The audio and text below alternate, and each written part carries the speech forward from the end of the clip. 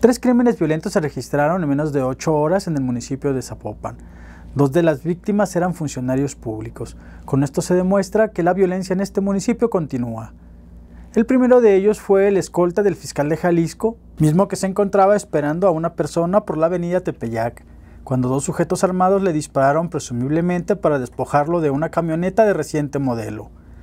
El segundo de los casos ocurrió en la colonia Jardines de la Providencia, donde un custodio del Ceferezo fue asesinado por un hombre con el que tuvo una riña.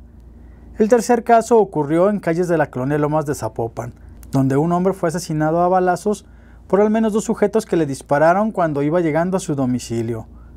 Solo en uno de los casos se pudo detener a uno de los causantes.